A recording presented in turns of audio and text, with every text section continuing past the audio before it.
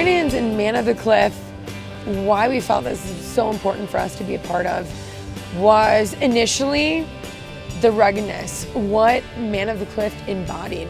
And that is getting out there and being active and being a part of the mountain, which is what we do here in Colorado. Part of that too is drinking whiskey. So it, it seemed like a perfect fit for us. However, when we found out where all the proceeds were going, that really was where our heart was at. And we felt like it was a great way to, you know, to give back to the community as well and to bring people into Colorado and do sports and things like that. Mr. Man of the Cliff. Cheers to you guys and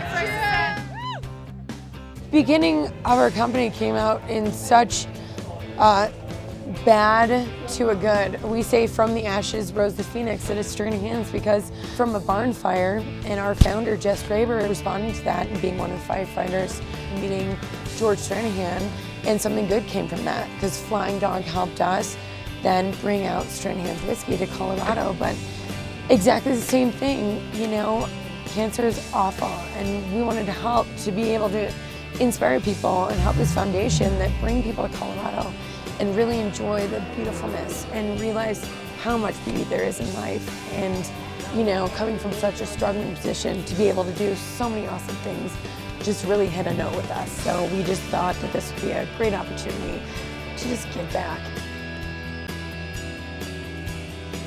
Cheers to you, Rob.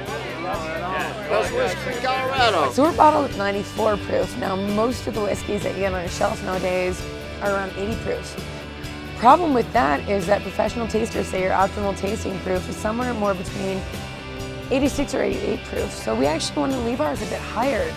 Um, so that essentially same concept as aerating your wine glass to open up the nose. We want you to be able to, if you choose to, now I like it neat out of the bottle. I really like that spice, that cinnamon that comes with it. But we want you to be able to add that dash of water. Our founding head distiller kind of talks about it like a firecracker. Now we are handing this firecracker to you. We're letting you light that spark and ignite that, have all those flavors blossom as you add that dash of water. It really opens up the nose. We really want to give people the option to drink the whiskey how they like. We say we're all adults buying a nice bottle of whiskey, take it home, drink it however makes you happy.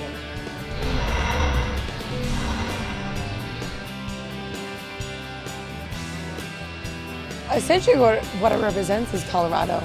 We're cowboys, cowgirls, we like camping, fishing, hunting. We like drinking whiskey, so that's where it came from. That's the base, that's why we're here at Man of the Cliff. Um, this kind of embodies everything that we're about, the rustic, ruggedness, the backwoods country, and getting out there.